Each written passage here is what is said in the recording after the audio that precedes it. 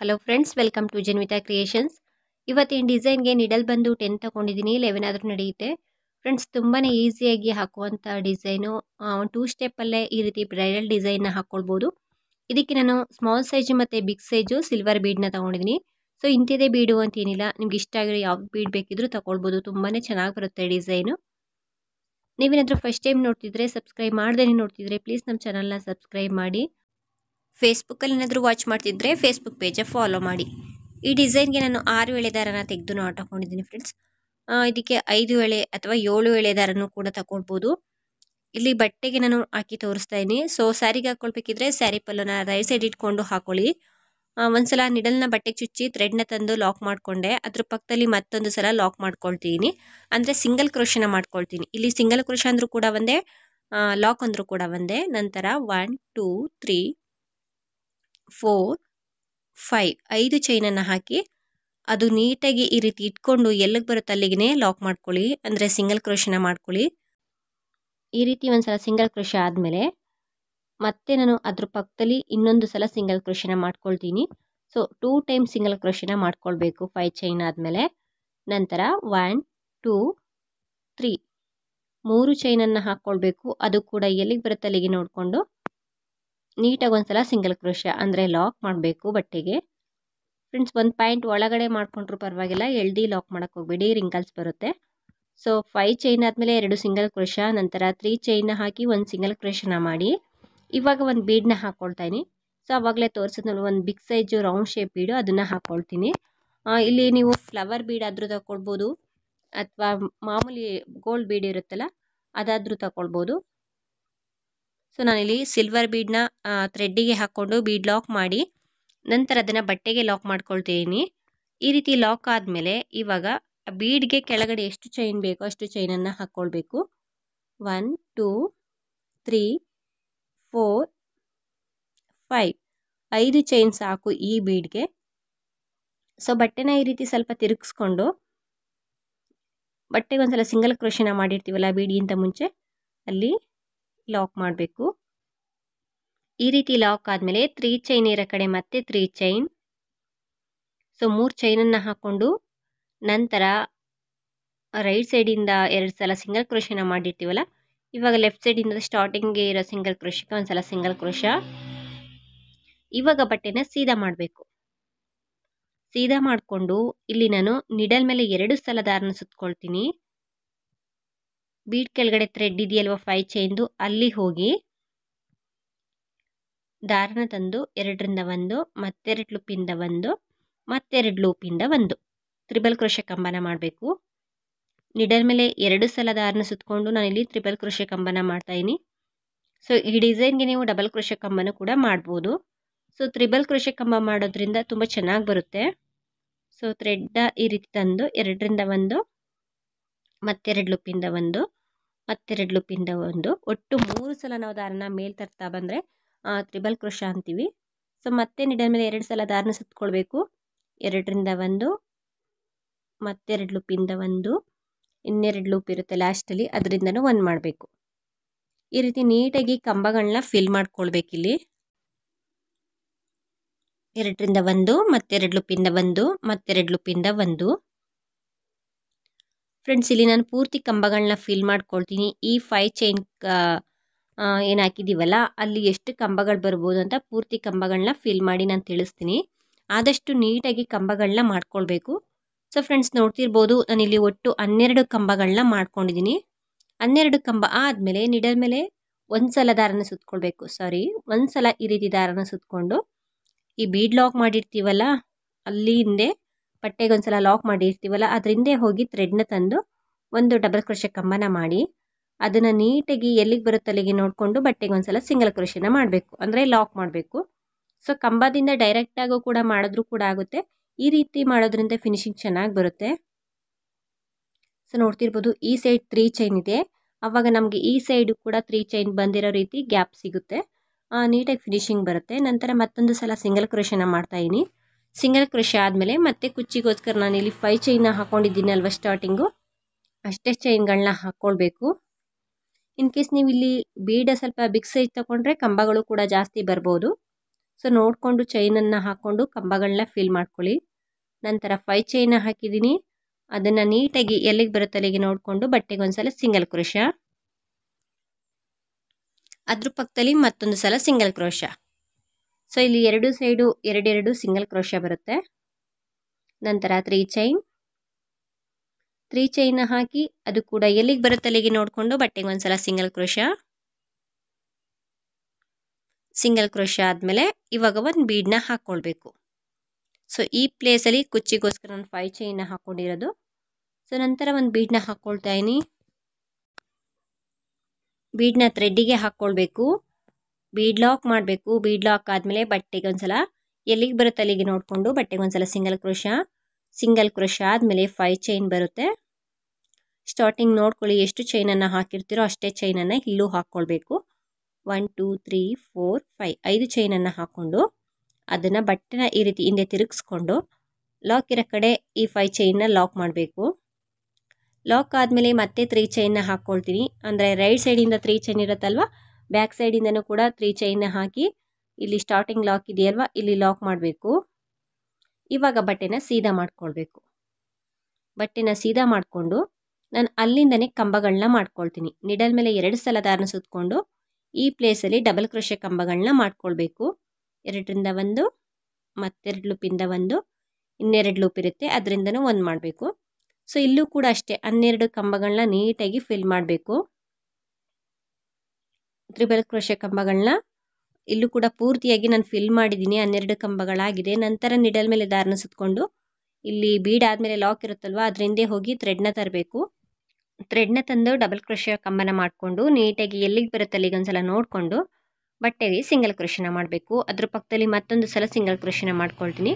So base line ಈ ರೀತಿ ಬರುತ್ತೆ. ಬೇಸ್ ಲೈನ್ನ ನಾನು ಕೊನೆಯವರೆಗೂ ಇನ್ನೊಂದು ಆರ್ಚನ್ನು ಕೂಡ ಕಂಪ್ಲೀಟ್ ಮಾಡಿದ್ದೀನಿ ನೋಡ್ತಿರ್ಬೋದು. ಸೊ ಮೂರು ಆರ್ಚನ್ನು ಈ ರೀತಿ ರೆಡಿ ಮಾಡ್ಕೊಂಡಿದ್ದೀನಿ ಲಾಸ್ಟಲ್ಲೂ ಕೂಡ ಕುಚ್ಚಿಗೋಸ್ಕರ ಫೈ ಚೈನ್ನ ಹಾಕಿ ಎಕ್ಸ್ಟ್ರಾ ಒಂದು ಟೂ ಚೈನ್ನ ಹಾಕಿ ಥ್ರೆಡ್ನ ಕಟ್ ಮಾಡ್ಕೊಳ್ತೀನಿ.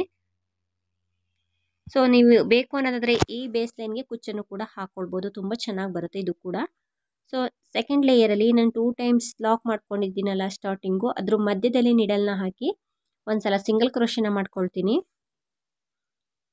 ಈ ರೀತಿ ಒಂದ್ಸಲ ಸಿಂಗಲ್ ಕ್ರೋಶನ ಮಾಡಿಕೊಂಡು ಫೈ ಚೈನ್ ಇರೋ ಕಡೆ ಮತ್ತೆ ನಾನು ಫೈವ್ ಚೈನ್ನ ಹಾಕ್ಕೊಳ್ತೀನಿ ಸೊ ಇಲ್ಲಿ ನೀವೇನಾದರೂ ಫೋರ್ ಚೈನ್ ಹಾಕ್ಕೊಂಡಿದ್ರೆ ಫೋರ್ ಚೈನ್ನೇ ಹಾಕ್ಕೊಳ್ಳಿ ಸೊ ಫೈ ಚೈನ್ನ ಹಾಕಿ ಅದು ಕೂಡ ಲಾಕ್ ಇರೋ ಕಡೆ ಲಾಕ್ ಮಾಡ್ಕೊಳ್ತೀನಿ. ಇಲ್ಲಿ ಮೊದಲನೇ ಲಾಕ್ ಇದೆಯಲ್ವಾ? ಸೊ ಇಲ್ಲಿ ಎರಡು ಸಲ ಲಾಕ್ ಮಾಡಿದ್ದೆ ನಾವು ಫೈ ಚೈನ್ ಆದಮೇಲೆ ಸ್ಟಾರ್ಟಿಂಗ್ ಲಾಕಿಗೆ ಒಂದು ಸಲ ನಾನು ಲಾಕ್ ಮಾಡ್ಕೊಳ್ತಾ ಇದೀನಿ ಈ ರೀತಿ. ಲಾಕ್ ಆದಮೇಲೆ ನಿಡಲ್ ಮೇಲೆ ಒಂದು ಸಲ ದಾರನ ಸುತ್ಕೊಳ್ಬೇಕು ಇಲ್ಲಿಂದನೇ.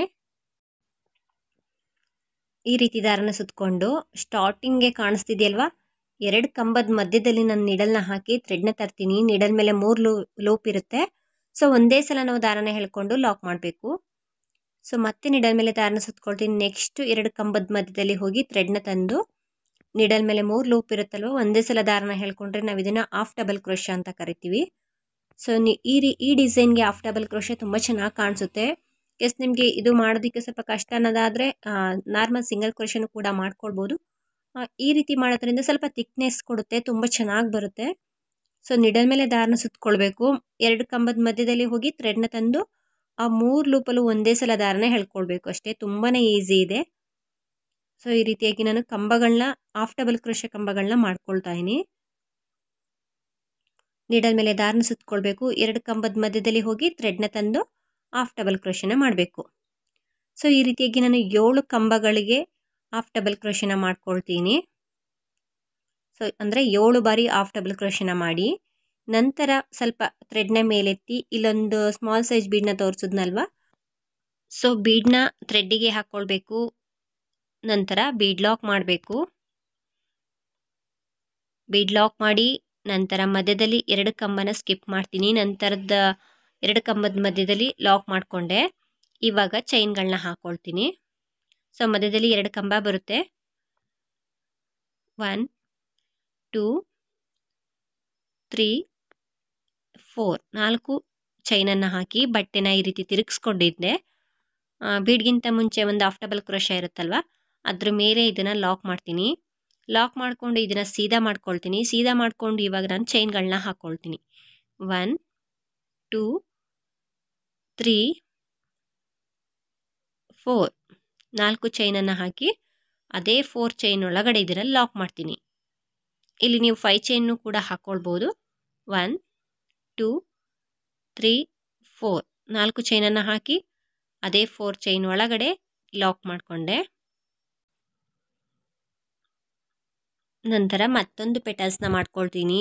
ಮತ್ತೆ ಫೋರ್ ಚೈನ್ನ ಹಾಕ್ಕೊಂಡು, ಅದೇ ಫೋರ್ ಚೈನ್ ಒಳಗಡೆ ಒಂದ್ಸಲ ಸಿಂಗಲ್ ಕ್ರೋಶ ಈ ರೀತಿ ತ್ರೀ ಟೈಮ್ಸ್ನ ಮಾಡ್ಕೊಂಡಿದ್ದೀನಿ ನೋಡ್ತಿರ್ಬೋದು. ತ್ರೀ ಟೈಮ್ಸ್ ಮಾಡಿ ನಂತರ ಅಲ್ಲೊಂದು ಸಲ ಮತ್ತೆ ನಾನು ಸಿಂಗಲ್ ಕ್ರೋಶನ ಮಾಡ್ಕೊಳ್ತೀನಿ. ಈ ಬೀಡ್ ಲಾಕ್ ಮಾಡಿರ್ತೀವಲ್ಲ ಬೀಡ್ನ ಲಾಕ್ ಮಾಡಿ ಬಟ್ಟೆಗೆ ಒಂದು ಸಲ ಲಾಕ್ ಮಾಡಿರ್ತೀವಲ್ಲ, ಅಂದರೆ ಚೈನ್ ಕಂಬಕ್ಕೆ ಕಂಬದ್ದು ಹೋಲಿಗೆ ಲಾಕ್ ಮಾಡಿರ್ತೀವಲ್ಲ ಅಲ್ಲೊಂದು ಸಲ ಲಾಕ್ ಮಾಡಿ ಈ ರೀತಿಯಾಗಿ ನಮಗೆ ಪೆಟಲ್ಸ್ ಬರುತ್ತೆ. ನಂತರ ನಾನು ನೆಕ್ಸ್ಟು ಎರಡು ಕಂಬದ ಮಧ್ಯದಲ್ಲಿ ಹೋಗಿ ಹಾಫ್ ಡಬಲ್ ಕ್ರೋಶನ ಮಾಡ್ಕೊಳ್ತೀನಿ. ನಾವು ಡೈರೆಕ್ಟಾಗಿ ನಾವು ಮೂರು ಪೆಟಲ್ಸ್ ಆಗಿ, ಆಗಿದ ತಕ್ಷಣವೇ ಕಂಬಕ್ಕೆ ನಾವು ಹಾಫ್ ಡಬಲ್ ಕ್ರೋಶ ಮಾಡೋಕ್ಕೋದ್ರೆ ಸ್ವಲ್ಪ ಅದು ಬಾಗ್ದಂಗೆ ಆಗುತ್ತೆ. ಇನ್ನೊಮ್ಮೆ ಅಲ್ಲೇ ನಾವು ಸಿಂಗಲ್ ಕ್ರೋಶನ ಮಾಡಿ ನಂತರ ಹಾಫ್ ಡಬಲ್ ಕ್ರೋಶನ ಮಾಡಬೇಕಾಗುತ್ತೆ. ಸೊ ಇನ್ನು ಪ್ರತಿಯೊಂದು ಎರಡು ಕಂಬಗಳ ಮಧ್ಯದಲ್ಲೂ ಕೂಡ ಹಾಫ್ ಡಬಲ್ ಕ್ರೋಶ ಮಾಡ್ತಾ ಬರಬೇಕು. ಆವಾಗ ನಮಗೆ ಈ ಸೈಡು ಕೂಡ ಏಳು ಹಾಫ್ ಡಬಲ್ ಕ್ರೋಶ ಬರುತ್ತೆ. ನೋಡ್ತಿರ್ಬೋದು. ಈ ರೀತಿಯಾಗಿ ನಮಗೆ ಆರ್ಚ್ ಬರುತ್ತೆ. ಸೊ ಫ್ರೆಂಡ್ಸ್ ತುಂಬಾ ಕ್ಯೂಟಾಗಿ ಕಾಣಿಸುತ್ತೆ. ತುಂಬ ಚೆನ್ನಾಗೂ ಕೂಡ ಬರುತ್ತೆ. ನಂತರ ಇಲ್ಲಿ ಎರಡನೇದು ಸಿಂಗಲ್ ಕ್ರೋಶ ಇರುತ್ತಲ್ವ? ಅಲ್ಲಿ ಲಾಕ್ ಮಾಡ್ತೀನಿ. ಲಾಕ್ ಆದಮೇಲೆ ನಂತರ ಫೈ ಚೈನ್ ಇರೋ ಕಡೆ ಮತ್ತೆ ಫೈ ಚೈನ್ನ ಹಾಕ್ಕೊಳ್ಬೇಕು one two three four five ಅದನ್ನು ಕೂಡ ಲಾಕ್ ಇರೋ ಕಡೆ ಲಾಕ್ ಮಾಡಬೇಕು. ಲಾಕ್ ಆದಮೇಲೆ ನಂತರ ಹಾಫ್ ಡಬಲ್ ಕ್ರೋಶಗಳನ್ನ ಇಲ್ಲೂ ಕೂಡ ಫಿಲ್ ಮಾಡ್ಕೊಳ್ತಾ ಹೋಗಬೇಕು. ಸ್ಟಾರ್ಟಿಂಗ್ ಏನು ತ್ರೀ ಚೈನ್ ಇರುತ್ತೆ, ನಂತರ ಬ್ಯಾಕ್ ಸೈಡಿಂದನೂ ಕೂಡ ತ್ರೀ ಚೈನ್ ಇರುತ್ತೆ. ಅಲ್ಲಿ ಅದನ್ನು ಕೂಡ ಎರಡು ಕಂಬ ರೀತಿ ಅಂತಲೇ ಕನ್ಸಿಡರ್ ಆಗುತ್ತೆ ಫ್ರೆಂಡ್ಸ್ ಇಲ್ಲಿ. ಸೊ ಇಲ್ಲೂ ಕೂಡ ನಾನು ಆಫ್ ಡಬಲ್ ಕ್ರೋಶನ ಮಾಡ್ಕೊಳ್ತಾನೆ. ಎರಡರ ಮಧ್ಯೆ ನಿಡಲ್ನ ಹಾಕಿ ಥ್ರೆಡ್ನ ತಂದು ಆಫ್ ಡಬಲ್ ಕ್ರೋಶನ ಮಾಡಬೇಕು. ಇದೇ ರೀತಿ ನಾನು ಪೂರ್ತಿ ಆರ್ಚನ್ನು ಕಂಪ್ಲೀಟ್ ಮಾಡ್ಕೊಳ್ತೀನಿ. ಸೊ ಸ್ಟಾರ್ಟಿಂಗ್ ಆರ್ಚ್ ರೀತಿನೇ ಎಲ್ಲವನ್ನು ಕೂಡ ನಾನು ಮಾಡಿ ತೋರಿಸ್ತೀನಿ. ಇನ್ನೊಂದು ಆರ್ಚ್ ಮಾಡೋಕ್ಕೋದ್ರೆ ವಿಡಿಯೋ ತುಂಬಾ ಲಾಂಗ್ ಆಗುತ್ತೆ. ಸೊ ಈ ರೀತಿಯಾಗಿ ಡಿಸೈನ್ ಫಾರ್ಮ್ ಆಗ್ತಾ ಬರುತ್ತೆ. ತುಂಬ ಚೆನ್ನಾಗಿ ಫಿನಿಶಿಂಗ್ ಬರುತ್ತೆ. ನೋಡ್ತಿರ್ಬೋದು ನಾನು ಇನ್ನೆರಡು ಆರ್ಚನ್ನು ಕೂಡ ಕಂಪ್ಲೀಟ್ ಮಾಡ್ಕೊಂಡಿದ್ದೀನಿ ಲಾಸ್ಟಲ್ಲೂ ಕೂಡ ಕುಚ್ಚಿಗೋಸ್ಕರ ಫೈ ಚೈನ್ನ ಹಾಕಿ ಅದನ್ನು ಕೂಡ ಎರಡು ಸಲ ಸಿಂಗಲ್ ಕ್ರೋಶನ ಮಾಡಿ ಎಕ್ಸ್ಟ್ರಾ ಒಂದು ಟೂ ಅಥವಾ ತ್ರೀ ಚೈನ್ನ ಹಾಕ್ಕೊಂಡು ಥ್ರೆಡ್ನ ಕಟ್ ಮಾಡ್ಕೊಳ್ತಿದ್ದೀನಿ ಈ ರೀತಿಯಾಗಿ ಡಿಸೈನ್ ಫಾರ್ಮ್ ಆಗಿದೆ. ಎಷ್ಟು ಚೆನ್ನಾಗಿ ಬಂದಿದೆ ನೋಡ್ತಿರ್ಬೋದು. ಫಿನಿಶಿಂಗ್ ಅಂತೂ ತುಂಬ ಚೆನ್ನಾಗಿ ಬರುತ್ತೆ. ಪ್ರತಿಯೊಬ್ಬರು ಕೂಡ ಇದನ್ನು ಟ್ರೈ ಮಾಡ್ಬೋದು. ಫ್ರೆಂಡ್ಸ್ ಇದೇ ಡಿಸೈನ ನೀವು ಒಂದೇ ಸ್ಟೆಪ್ಪಲ್ಲೂ ಕೂಡ ಮಾಡ್ಕೊಳ್ಬೋದು. ಬಟ್ ಇಲ್ಲಿ ಕಲರ್ಸ್ ಎರಡು ಕಲರ್ ಆಗುತ್ತೆ. ತುಂಬ ಚೆನ್ನಾಗಿ ಕಾಣಿಸುತ್ತೆ. ಸೊ ಥ್ರೆಡ್ನ ಕಟ್ ಮಾಡಿ ನಿಡಲ್ನ ನಮ್ಮ ಸೈಡ್ ಹೇಳ್ಕೊಂಡ್ರೆ ಅದು ಟೈಟಾಗಿ ಕೂರುತ್ತೆ ಸೊ ಕುಚ್ಚನ್ನು ಕಟ್ಟಬೇಕಿದ್ರೆ ಅದರೊಳಗಡೆನೆ ಹಾಕ್ಕೊಂಡು ಸೇರಿಸಿ ಕಟ್ಕೊಳ್ಬೇಕು. ಎಷ್ಟು ಚೆನ್ನಾಗಿ ಬಂದಿದೆ ನೋಡ್ತಿರ್ಬೋದು. ಫಿನಿಶಿಂಗ್ ಅಂತೂ ತುಂಬ ಚೆನ್ನಾಗಿ ಬರುತ್ತೆ. ಸೀರೆಗಳಿಗೂ ಕೂಡ ಈ ಡಿಸೈನ್ ತುಂಬಾ ಚೆನ್ನಾಗಿ ಕಾಣಿಸುತ್ತೆ. ನಾನು ಒಮ್ಮೆ ಸೀರೆಗೂ ಕೂಡ ಹಾಕಿ ತೋರಿಸ್ತೀನಿ ಹೇಗೆ ಕಾಣಿಸುತ್ತೆ ಅಂತ. ಇದಕ್ಕೆ ನಾನು ಇನ್ನೂರು ಎಳೆದಾರನ ಈ ರೀತಿ ಕುಚ್ಚನ್ನು ಹಾಕ್ತಾಯಿನಿ ಸೊ ಒಂದಕ್ಕೆ ಈ ರೀತಿ ಕುಚ್ಚನ್ನು ಕೂಡ ಹಾಕಿ ತೋರಿಸ್ತೀನಿ ಇಲ್ಲಿ ನಾನು ನಾಲ್ಕು ಕುಚ್ಚನ್ನು ಕಟ್ಟೋದ್ರಿಂದ ಈಗೇನೆ ಕೈಯಲ್ಲಿ ಕಟ್ಕೊಳ್ತೀನಿ ನೋಡ್ತಿರ್ಬೋದು. ಸೊ ಈ ರೀತಿ ಹಾಕ್ಕೊಂಡು ನಿಮಗೆ ಎಷ್ಟು ಉದ್ದ ಬೇಕೋ ಅಷ್ಟು ಉದ್ದ ಥ್ರೆಡ್ನ ನಾವು ಈ ರೀತಿ ಬಿಟ್ಕೊಂಡು ಥ್ರೆಡ್ನ ಕಟ್ ಮಾಡ್ಕೊಳ್ಬೇಕು. ಥ್ರೆಡ್ನ ಕಟ್ ಮಾಡಿ ನಾವು ಹೂವೆಲ್ಲ ಕಟ್ತೀವಲ್ಲ ಫ್ರೆಂಡ್ಸ್ ಆ ರೀತಿ ನಾವು ಇದನ್ನು ಆರಾಮಾಗಿ ಕಟ್ಕೊಳ್ಬೋದು. ಜೆರಿ ಥ್ರೆಡ್ ಈ ರೀತಿ ಹಿಂದೆ ಸ್ವಲ್ಪ ಹಾಕ್ಕೊಂಡು ನಂತರ ಒಂದು ಎರಡು ಮೂರು ರೌಂಡು ಆದಷ್ಟು ಟೈಟಾಗಿ ಈ ರೀತಿ ಸುತ್ತಕೊಂಡು ಹೂ ಕಟ್ತೀವಲ್ಲ, ಆ ರೀತಿ ಒಂದು ಎರಡು ಮೂರು ರೌಂಡ್ ಇಲ್ಲೂ ಕೂಡ ಹಾಕ್ಕೊಳ್ಬೇಕಾಗುತ್ತೆ ಹೂ ಕಟ್ಟೋ ರೀತಿ. ನಂತರ ಈ ರೈಟ್ ಸೈಡ್ ಇರೋ ಥ್ರೆಡ್ಡ ಹಿಂದೆ ತಗೊಂಡೋಗಿ ಒಂದೆರಡು ನಾಟ್ ಹಾಕ್ಕೊಂಡ್ರೆ ಇದು ಟೈಟಾಗಿ ಕೂರುತ್ತೆ, ಯಾವುದೇ ಕಾರಣಕ್ಕೂ ಇದು ಬಿಚ್ಚೋಗಲ್ಲ, ಅಷ್ಟು ಟೈಟಾಗಿರುತ್ತೆ ಈ ರೀತಿ ಕಟ್ಟಿ ನಮಗೆ ಎಷ್ಟು ಉದ್ದ ಬೇಕೋ ಅಷ್ಟು ಥ್ರೆಡ್ನ ನೋಡಿಕೊಂಡು ಎಕ್ಸ್ಟ್ರಾ ಥ್ರೆಡ್ನ ಈ ರೀತಿ ಕಟ್ ಮಾಡ್ಕೊಳ್ಳೋದಷ್ಟೇ. ಸೊ ಆರಾಮಾಗಿ ಈ ರೀತಿ ಕೈಯಲ್ಲೂ ಕೂಡ ಹಾಕ್ಕೊಳ್ಬೋದು. ಸೂಜಿಲಿ ಪದೇ ಪದೇ ಪೋಣಿಸೋದಕ್ಕಿಂತ ಇದೇ ತುಂಬಾ ಈಸಿ ಅನಿಸುತ್ತೆ. ಸೊ ನೆಕ್ಸ್ಟ್ ಇನ್ನೊಂದು ಎರಡು ಮೂರು ಆಚೆಗೂ ಕೂಡ ನಾನು ಕುಚ್ಚನ್ನು ಕಟ್ಟಿದ್ದೀನಿ. ನೋಡ್ತಿರ್ಬೋದು, ಈ ರೀತಿಯಾಗಿ ಕಾಣಿಸುತ್ತೆ. ತುಂಬ ಚೆನ್ನಾಗಿ ಬರುತ್ತೆ ಫ್ರೆಂಡ್ಸ್ ಫಿನಿಶಿಂಗ್ ಅಂತೂ ತುಂಬ ಸೂಪರ್ ಆಗಿದೆ. ಇವನ್ ಬಿಗಿನರ್ಸು ಕೂಡ ಇದನ್ನು ಟ್ರೈ ಮಾಡ್ಬೋದು. ತುಂಬ ಚೆನ್ನಾಗಿ ಬರುತ್ತೆ. ಇದಕ್ಕೆ ಪ್ರೈಸ್ ಬಂದು ಒಂದು ಫೋರ್ ಫಿಫ್ಟಿಯಿಂದ ಫೈವ್ ಫಿಫ್ಟಿವರೆಗೂ ಚಾರ್ಜ್ ಮಾಡ್ಕೊಳ್ಬೋದು. ನಿಮ್ಮ ಪ್ಲೇಸ್ ಮೇಲೆ ಡಿಪೆಂಡ್ ಆಗಿರುತ್ತೆ. ಸೊ, ಕಮ್ಮಿನೂ ಕೂಡ ಮಾಡ್ಕೊಳ್ಬೋದು, ಜಾಸ್ತಿನೂ ಕೂಡ ಮಾಡ್ಕೊಳ್ಬೋದು. ಡಿಸೈನ್ ಅಂತೂ ತುಂಬ ಚೆನ್ನಾಗಿ ಬರುತ್ತೆ. ಇವನ್ ಬಿಗಿನರ್ಸು ಕೂಡ ಇದನ್ನು ಟ್ರೈ ಮಾಡಿ ತುಂಬ ಚೆನ್ನಾಗಿ ಬರುತ್ತೆ. ಸೊ, ಇದಕ್ಕೆ ಇನ್ನೂರು ಎಳೆ ದಾರನ ಕ, ಈ ರೀತಿ ಕುಚ್ಚನ್ನು ಕಟ್ಟಿದ್ದೀನಿ. ಅದು ಕೂಡ ತುಂಬಾ ಚೆನ್ನಾಗಿ ಕಾಣಿಸ್ತಿದೆ.